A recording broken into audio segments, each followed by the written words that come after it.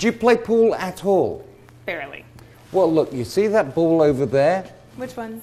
That little four ball? Yes. It's right over the pocket. Okay. I am going to move it just a little bit because I trust that you're a good pool player. and I'm going to put it just there. It's still an easy shot. Mm-hmm.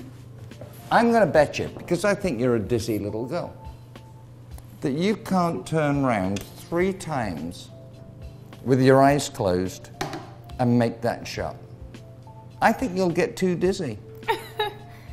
Okay. All right. This I'll is give it a one you you got to do this one on Peter. Okay. It's great. So you have to close your eyes. I'll hold the stick for you so that you don't get too panicky. you turn around three times with your eyes closed and promise your eyes are closed Okay. and you have to make the shot. All right. It's an easy shot. Okay. Any rank amateur could make that shot. I'm going to bet you can't.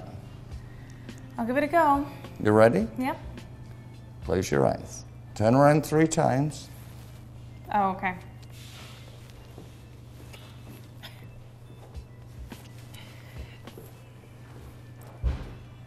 Now make the shot. Okay. Where's the? Now you can open your eyes to make the shot. Oh, shot. okay. Great.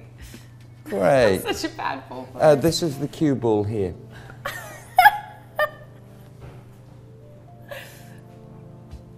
yeah. See, Yeah. this isn't. I wasn't kidding when I said I wasn't bad. No, no, it's not that.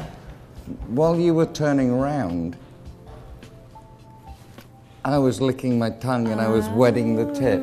I was actually quite impressed by the fact that you kept the cue ball on the table. Most people would just pounce it straight off the table. I am surprised. But it was nothing to do with your ability.